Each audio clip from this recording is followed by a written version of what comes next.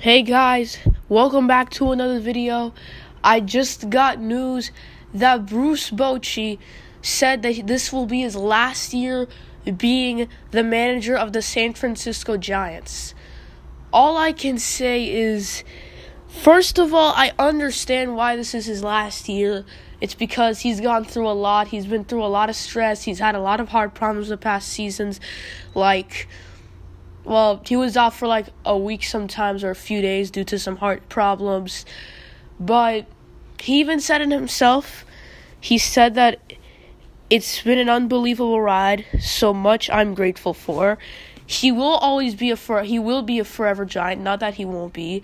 But I just want to talk about guys that Bruce Bochy. He led us to three World Series.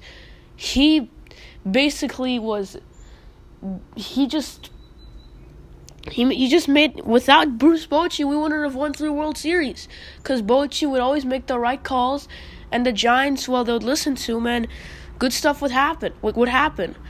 The past two seasons have been a bit rough though. 2017, we almost had hundred losses, and last season, well, we were terrible. But since this will be Bochy's last year, I think we can all just say that the Giants, I think at Oracle Park, they will be giving some merchandise of Bochy and maybe some bobbleheads because we all know this is his last season.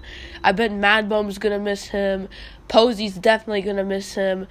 Like, let's just say Giants players who have been there since the beginning. Pence is gonna miss him. Even players who aren't on the Giants anymore. Sandoval is gonna miss him. Well, he's still on the Giants, but for example, like Pence is gonna miss him. Even players today like Samardzija I think almost everybody on the Giants are gonna miss him. I think everybody should miss him.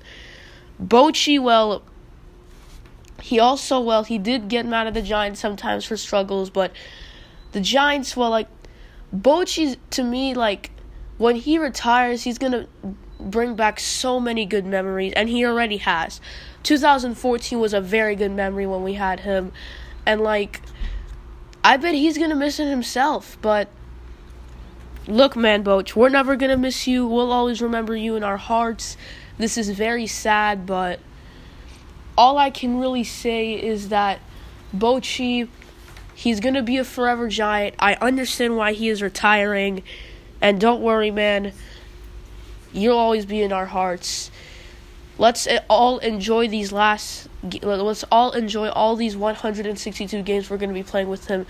Even if we make it to the postseason, let's enjoy that. Because Bochy, since this is his last year, he won't be here with us anymore. But I have a feeling Bochy still will be coming to our games. He'll still be watching the Giants. We love you, Boch. Let's hope this last year will be a good one.